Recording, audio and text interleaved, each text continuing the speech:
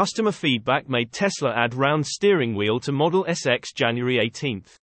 2023. Tesla is known for its approach to continuously develop and update its products instead of waiting for yearly cycles like most automakers. The EV maker manages to improve its cars frequently thanks mostly to over-the-air OTA software updates. But the automaker doesn't shy away from making physical updates to its cars when something needs to be corrected. The recent decision to offer a traditional steering wheel again on the refreshed Model S and Model X is a good example.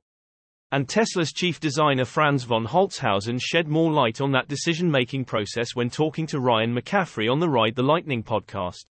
Asked if customer feedback was behind Tesla's decision to give customers the option to choose between a round steering wheel or steering yoke. Von Holzhausen who is a big fan of the yoke and would like to see it on the Cybertruck as well confirmed that was the case. I think it was just making sure that we had a car that people really loved. And if somebody loved the car but the yoke was in the way, we want to just remove that obstacle. This sounds like the logical thing to do in a situation like this. And it's refreshing to hear from a top level executive that Tesla values and acts upon customer feedback. There are certainly many Model S and Model X fans out there who love the cars but hate the steering yoke. And it did not make much sense for Tesla not to give them the option of a traditional steering wheel especially as the yoke was clearly a deal breaker for some of them.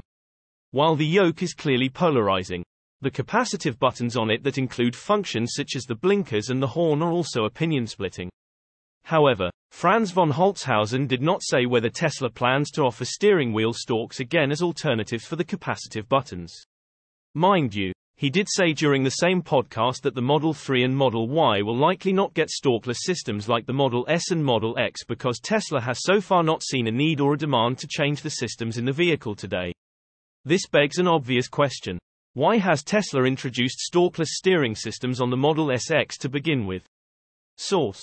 Reposted and summarized from Dan Mihalascu at InsideEVS.com. My take. Tesla should have offered the yoke steering wheel as an option to start with. Tesla's new autopilot and full self-driving hardware. Details surface. January 18, 2023. Tesla may be planning to release updated or revamped versions of its autopilot and full self-driving FSD capability features. New information has come to light about potential hardware changes, which would go against what Tesla has been promising all along. As you may know, Tesla and, more specifically, CEO Elon Musk has been promising completed full self-driving FSD for some time now. There's also been plenty of talk about an unassisted coast-to-coast Tesla trip.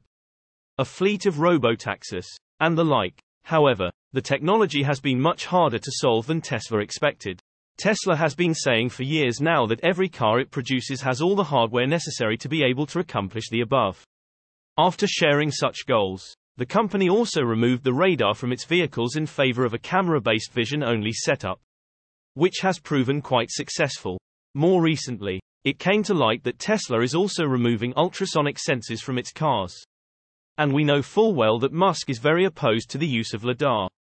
During the time that Tesla's EVs were supposed to be fully equipped with the hardware to drive themselves, the automaker was forced to do computer and camera upgrades to bring older vehicles up to date. However, Despite years of work and many incremental software updates, Tesla's cars still can't completely drive themselves. The company insists that a driver must be present and ready to take control at any time. Unlike most legacy automakers, Tesla makes changes to its vehicle's hardware on the fly. This means that at any given time, it could begin using new hardware in any of its vehicles. That said, the automaker has noted that if you own a vehicle and new hardware is required, it will perform the upgrade free of charge. More recently, it has become clear that Tesla will likely have no choice but to make some significant updates and upgrades if it's going to truly achieve a much higher level of vehicle autonomy. According to Electrek, Tesla may be adding a radar back into its cars as soon as this month. The publication also notes that the refreshed Model 3 will likely come to market with a new hardware suite for Autopilot and FSD. Additional information has emerged about Tesla's autopilot hardware 4.0 via regulatory documents from China. Electrek says Tesla makes such changes in China first. So these documents should give us an idea of what to expect going forward. The leaked document reveals Tesla's plans for a front-facing camera setup with two higher resolution cameras to replace the current setup, which has three lower res cameras. The details also show that there will be some sort of heat to help keep the cameras clear. And the heating system will also be used for the cameras on the B pillars. Electrek writes that while the Model 3 prototype also seemed to have headlight or bumper cameras, these aren't mentioned in the leaked regulatory documents. Hopefully, Tesla will provide more details soon. If it does release a new Model 3 with a new hardware suite, one would assume all vehicles would have to get the updates. However, Tesla has always said the current hardware is enough to run the ever-changing autopilot and FSD software. So who knows? This topic definitely deserves some conversation in the comment section below. Source. Reposted and summarized from Steven Loveday at InsideEVS.com. My take. Every day we are getting closer and closer to Tesla FSD mission completed. Tesla EV sales in China surged after price cuts. January 18, 2023. In theory, Lower prices should boost sales and this is probably what is happening right now with Tesla electric cars. According to Reuters, Tesla's retail sales surged in the first part of January. After the company cut its prices by 5.7 to 13.5% in an attempt to sell more cars. We already heard unofficial news about a high number of orders as high as 30,000 in three days. And now the China Merchants Bank International CMBI revealed that Tesla sales during the seven days between January 9, 15, increased by 76% year over year to 12,654. That would be a positive outcome, especially considering that during the period, the average car sales in China decreased by 14.5%. While in the case of X, EVs, electric or hybrid vehicles, there was a growth of 36.5%. In other words, the market is going down while Tesla is outpacing the green car segment.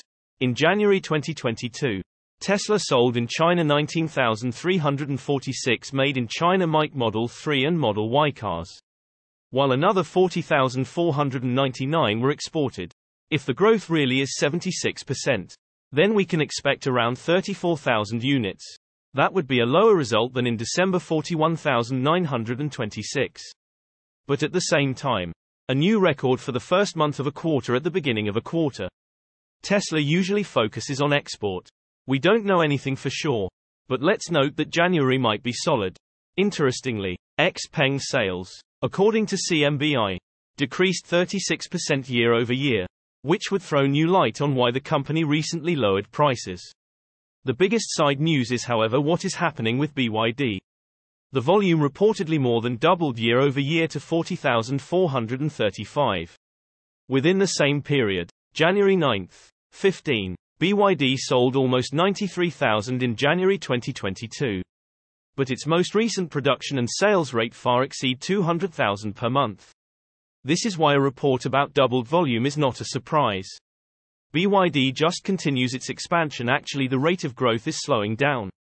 The list provided by Moneyball also indicates that there is no new energy vehicle brand even close to BYD. Source. Reposted and summarized from Mark Kane at InsideEVS.com. My take. This was obviously a smart move. At the right time. By Tesla. Hertz added EV rentals. And went from bankruptcy to huge profits. January 18, 2023. It wasn't that long ago that rental car company Hertz went bankrupt. It also wasn't that long ago that Hertz hired Tom Brady to promote the fact that it had placed an order for 100,000 Tesla EVs to rent to customers across the globe. Now, it's back to making notable profits. You probably remember when Hertz ordered 100,000 Tesla EVs. It was big news. Not only because it has to do with Tesla, but also because NFL superstar quarterback Tom Brady was involved. And because it seemed Hertz was doomed not long before it all happened. According to Tesla CEO Elon Musk, Hertz had to order its Teslas just like any other customer. It didn't get a fleet discount. And it would have to wait in line. That said, the rental car company is still gradually taking delivery of that long list of Teslas. Meanwhile, it's renting them in locations all over the map. And they're seemingly quite popular. Even people who may have no interest in buying an EV might rent and try a Tesla if the opportunity presented itself. Since ramping up its EV offerings, Hertz has enjoyed a 12% increase in annual profits. While you may be thinking this spike in revenue is due to the fact that EVs are growing in popularity and causing Hertz's rentals to skyrocket. That's not the whole story. Sure, Hertz is having much more rental success than it was not long ago. And business is way up compared to pandemic levels. But the real kicker here comes from the cost savings. Following the third quarter of 2022, Hertz CEO Stephen Scherr announced yet another EV deal. This time with GM for 175,000 electric cars. The company also noted that it made a whopping $2.5 billion in revenue during the third quarter. And that was ahead of those new EVs coming in. Scherr shared during the earning call. We focused on operational excellence and fleet optimization to produce financial results that facilitated investment in our strategic priorities. Like electrification, while enhancing returns to our shareholders and being in the service of our customers. Hertz calculated that its EVs are between 50-60% cheaper to maintain than gasoline-powered cars. In addition, the cars don't need to be maintained or repaired as often, which means more time in service. Hertz also recently announced a third EV partnership. It's purchasing 65,000 EVs from Polestar. Between Tesla, GM, and Polestar, Hertz aims to have nearly 350,000 electric cars in its fleet. If it's already seeing these cost savings and revenue growth, it should see even more monumental results as the new EVs start to trickle in. Source. Reposted and summarized from Steven Loveday at InsideEVS.com. My take. Good job, Hertz. Glad your partnership with Tesla has been working out for you.